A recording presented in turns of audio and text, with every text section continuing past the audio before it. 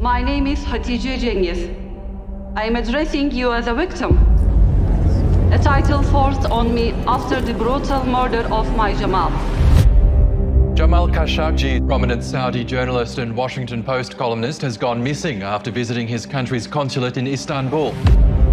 He was last seen entering Saudi Arabia's consulate seeking paperwork to marry his fiancée. His fiancée saw him go in at 1 p.m. and was still waiting for him at 1 a.m. Buhar olup uçmadı. Saudi Arabia now suddenly is admitting that Khashoggi did die inside that building. Cemal Kaşıkçı alelade bir şekilde öldürülmemiştir. The government treated me as if I shot the king. We knew that they would try to sweep the whole thing under the rug. Is it true that Turkish intelligence obtained audio recordings of Khashoggi's murder?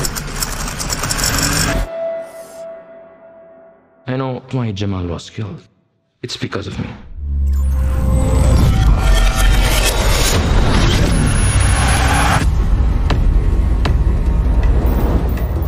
Birileri tüm olup biteni rahatlıkla seyretmiş, hatta talimatlar vermiş olabilir. We saved some particularly damning piece of the puzzle, like Saudi body double. Jamal felt the whole country was against him, but this is not the truth. I said the best solution is create our own army. The king firmly denies any knowledge of it. It could have been rogue killers. Who knows? I just received this. Be careful.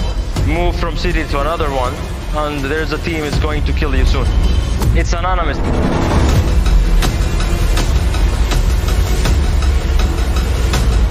He has to be killed in a way that will send message to everyone else.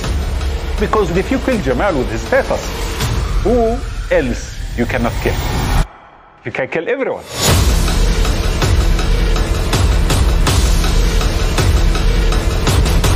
I warned Jamal. Once you start working with us, you're not just a journalist, you're a dissident.